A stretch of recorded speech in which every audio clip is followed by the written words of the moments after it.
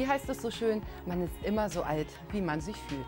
Hört sich erst einmal gut an, was aber, wenn im Alter die Beschwerden zunehmen und man irgendwann gar nicht mehr so recht weiß, was mit einem los ist und an wen man sich wenden soll.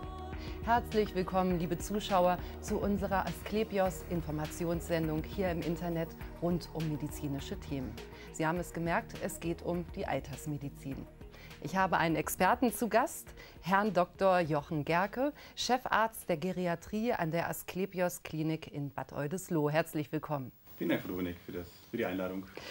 Dann als allererstes doch mal die allgemeine Frage, was ist denn Altersmedizin überhaupt? Was beinhaltet sie? Ja, die Altersmedizin, das ist eine. Die Altersmedizin ist eine Fachdisziplin, die von der inneren Medizin ausgegangen ist, die sich um die Bedürfnisse des alten Menschen kümmert. Der Begriff Geriatrie, mit dem die Menschen wenig anfangen können, kommt aus dem Griechischen, aus Geron, der Greis, das Alter und Iatros, der Arzt. Also wir kümmern uns ums, ähm, um den alten Menschen, um die Bevölkerung im hohen Lebensalter, nicht zu verwechseln mit der Gerontologie, mit der Wissenschaft des Alterns oder der Gelotologie, der Wissenschaft des Lachens, obwohl wir auch gerne in der Geriatrie lachen. Wozu gibt es die Altersmedizin denn überhaupt? Ist denn Altsein eine Krankheit? Ich frage immer zurück, provokant, wofür gibt es die Kindermedizin? Kleine Menschen sind keine kleinen Erwachsenen, also Kinder. Es gibt den Spezialisten, der sich mit den Bedürfnissen der Kinder auskennt. Und das Gleiche gilt für den hochbetagten Menschen. Menschen im hohen Alter haben andere Bedürfnisse, andere Erkrankungen und andere Behandlungsmöglichkeiten. Die Leber, die Niere, die allgemeinen Körperfunktionen, die Muskel- und Knochenaufbau, Veränderungen im Alter sind so, dass der Spezialist, der Geriater, sich anders darum kümmert als der Internist, der Chirurg, der den normal alten Menschen behandelt, wobei wir sehr eng mit den Fachdisziplinen zusammenarbeiten, sozusagen Hand in Hand mit den Spezialisten den alten Menschen behandeln. Ab wann ist man denn alt? Ab wann ist man alt? Also Altern beginnt mit der Geburt. So wie der, mhm. das Sterben mit dem Anfang anfängt. Die geriatrischen Patienten werden definiert ab 70 mit mehreren Erkrankungen, der sogenannten Polymorbidität, das heißt Diabetes, Zustand nach Schlaganfallerkrankungen, Herzinfarkt und ähnliches. Oder der 80, 85-jährige Mensch, der aufgrund seines Alters einfach eine besondere Behandlung benötigt. Bei welchen Beschwerden sollte ich denn einen Altersmediziner aufsuchen? Ähm, wann merkt man, ist es an der Zeit, sich da wirklich so fachspezifisch jemanden zu suchen?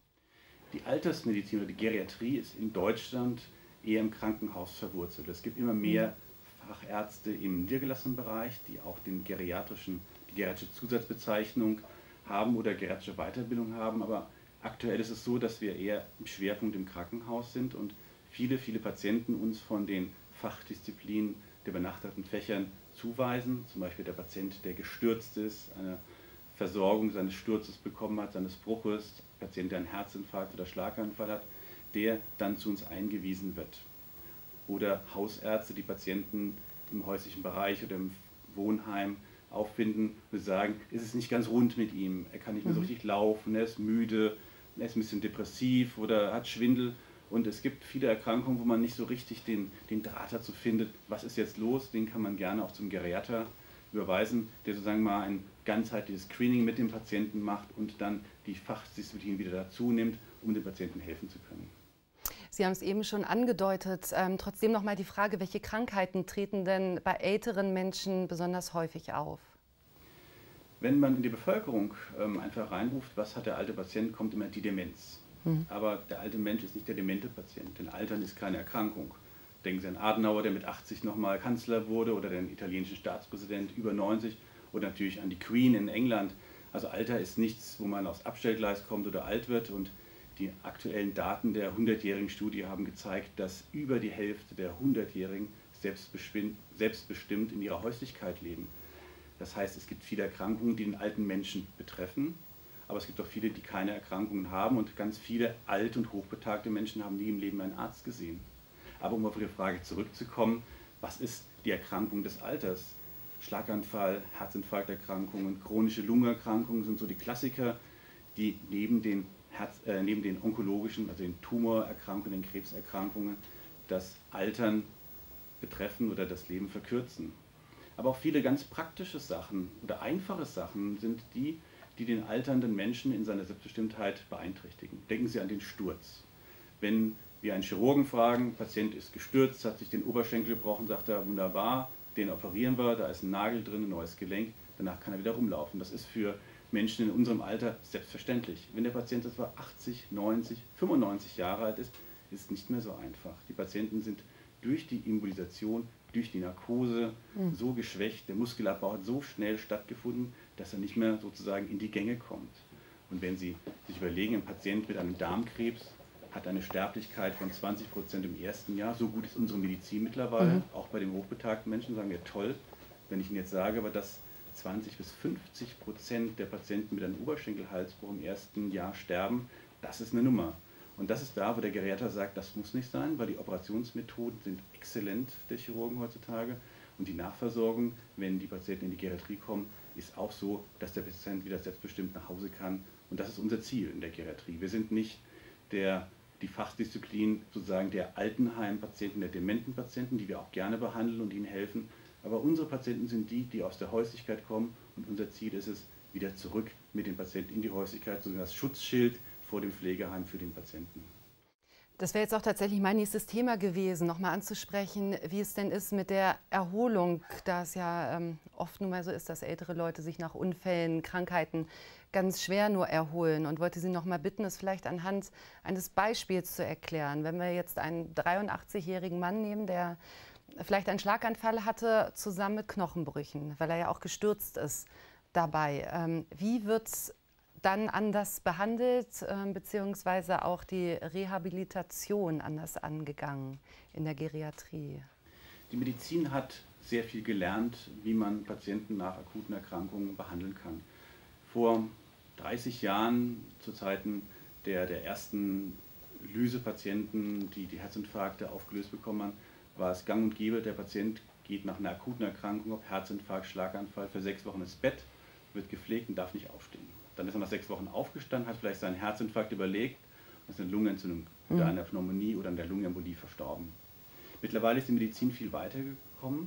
Gerade im Bereich des Schlaganfalls wissen wir, der Patient muss am ersten Tag aus dem Bett raus. Mhm. Das gilt für die Geriatrie insbesondere. Also liegen generell ist nicht gut, solange liegen. Ist der Tod des Patienten. Mhm. Und das ist schwierig, den Menschen das zu vermitteln. Wenn Sie mhm. den 90-Jährigen vor sich haben, der möchte jetzt erstmal sein Krank haben, der möchte jetzt in Ruhe gelassen werden. Es ist in verschiedenen ähm, Gruppen auch noch extremer, wo es halt von der Tradition ist, denken Sie an arabische Länder, wo es ein normales Krankenhaus ist Bett und mhm. zu Hause ist wieder fit, wie ein Turnschuh. Und wenn ein Patient mit Schlaganfall, Herzinfarkt oder einem Knochenbruch bei uns ist, wird er am ersten Tag aus dem Bett geholt. Und das ist nicht einfach. Es ist eine Frage der Motivation. Man muss den Patienten jeden Tag aufs Neue motivieren. Man darf ihm nicht zu hohe Ziele geben. Du bist jetzt hier, du hast die Wirbelsäule gebrochen und du hast aber ein Haus mit 32 Stufen. Nächste Woche geht es nach Hause. Du musst kleine Ziele, den Transfer mhm. in den Stand, ans Waschbecken mit den Menschen, ein Waschtraining, dann vielleicht über den Flur mit einem Rollator, dann vielleicht nur mit einem Stock, dann drei Treppen. Immer kleine Schritte, um den Kontakt nicht zur, zu den Patienten zu verlieren und ihnen zu sagen, wir helfen dir, wir bringen dich nach Hause.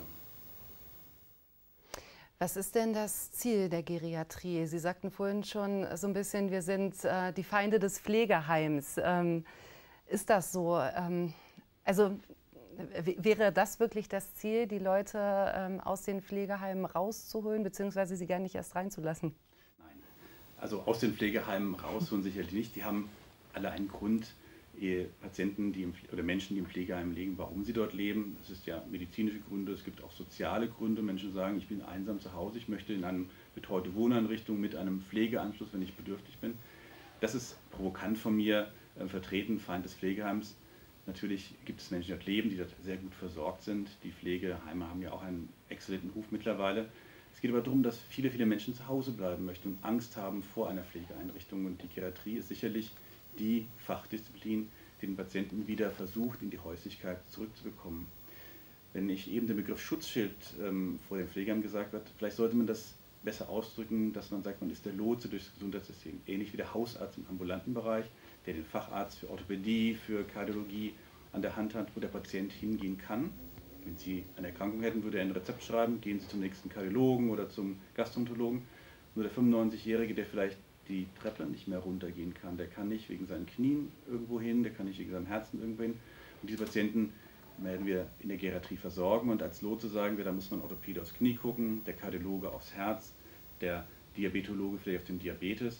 Und wenn wir die Sachen einigermaßen in den Griff kriegen und ihnen dann noch helfen, vielleicht eine zweite Stütze an das Geländer zu machen oder vielleicht überreden, dass doch die Wohnung von oben nach unten verlegt wird oder Bad, Küche und Schlaf, äh, Schlafzimmer auf einer Ebene, sind das Kleinigkeiten, die vielleicht ihm helfen, zu Hause zu bleiben. Und das ist das, was der Patient möchte.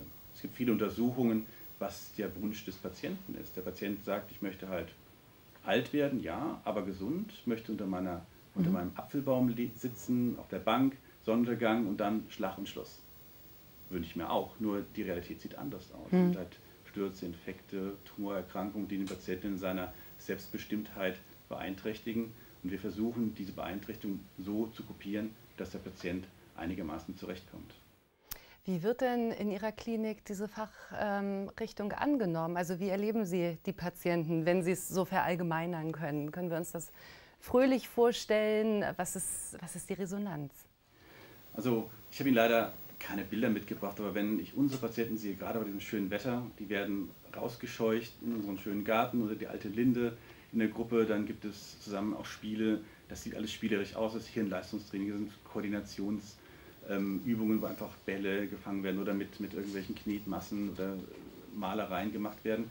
Das sieht toll aus und die Leute sind glücklich. Mhm. Also Menschen, die auch allein immer leben, die haben häufig in der ersten Woche Angst, miteinander zu reden im Zimmer mit dem Nachbarn. Bei uns ist es so, morgens alle in den Frühstücksraum, die werden im Frühstücksraum reingekatzt sozusagen und müssen miteinander reden. Die müssen mittags miteinander reden, da gibt es die Gruppengymnastik, die Gruppenlaufgruppe oder andere Sachen, wo die Patienten einfach auch Freude erleben und so von der Resonanz, wenn ich das subjektiv betrachten würde ich sagen, die, meisten Patienten sind einfach glücklich da, dass sie bei uns sind, wollen erst nicht zu uns, weil sie gar nicht wissen, was das ist und danach wollen sie nicht mehr weg, weil es ihnen so schön gefällt. Nun kann ich ja dem Älterwerden schlecht vorbeugen. Wie sieht es aber mit, der, mit dem Vorbeugen vor altersbedingten Krankheiten aus? Was kann ich tun? Ja, es gibt viele Sachen, die man machen kann. Zum Beispiel ein Glas Wasser trinken. Gerade bei diesem Wetter ist Trinken im Alter wichtig, als Schlaganfallprävention, als Prävention vor. Ich fange auch schon mal an. Vor, Sie brauchen es noch nicht in dem Maße. Prävention vor ähm, Austrocknung des Gehirns und anderen Sachen.